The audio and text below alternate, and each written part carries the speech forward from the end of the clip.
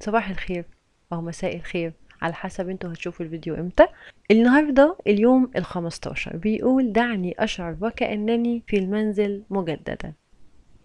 كلنا عارفين إن البيت هو مصدر الأمان والسعادة لكتير مننا. تخيل بقى إن هو هنا بيقولك ما تربطش نفسك بالبيت. لأ حاول تاخد شعور السعادة والأمان والراحة من أشخاص ايا كان هما مكانهم فين أو أنتوا قاعدين فين. دور على الأشخاص اللي بتديك الراحة والسعادة كأنك في بيتك. بيقولك دور عليهم في العائلة أو حد من صحابك أو حد عزيز عليك. السؤال هنا ليه محتاجين ندور على الناس اللي نحس معاهم كأننا قاعدين في بيتنا. بكل بساطة إحساس الراحة والأمان والسعادة دي من الحاجات اللي إحنا محتاجينها على طول. لأن في حاجات كتير بتحصل في الحياة ما بتبقاش لطيفة. الحياة ساعات بتدينا كل اللي إحنا عايزينه وساعات بتاخد مننا أعز حاجة بنملكها. في وجود الأشخاص ديت بيهون علينا الحياة. طيب السؤال التاني إيه مواصفات الأشخاص دي أول حاجة يكون شخص هين لين.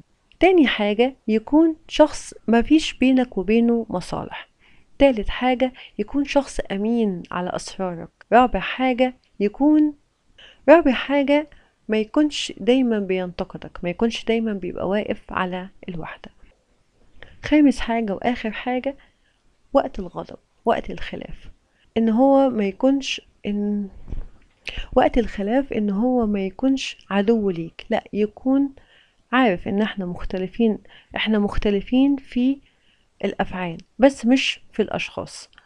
لو لقيت شخص بالمواصفات دي كلها لك ألف مبروك إنك لقيت حد تقعد معاه كأنك قاعد في بيتك. فدمتم بخير. أتمنى إن أنتوا تلاقوا الأشخاص ديت. أتمنى إن إحنا نكون نفسنا الأشخاص دي نكون هينين لينين مع الناس ومع نفسنا عشان الدنيا مش مستاهلة آه كل الصراعات فيها.